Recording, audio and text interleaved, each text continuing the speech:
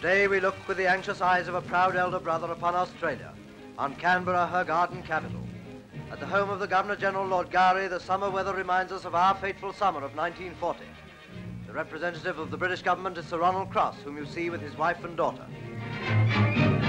In this new front of world war, the United States minister is Nelson Johnson. His country has promised a flood of aid. China's minister is Dr. Hsu Mo, our allies in the Far East. At the Prime Minister's Lodge, we meet Mr. Curtin, the first Labour Premier who leads Australia in her hour of danger. This was the Japanese minister.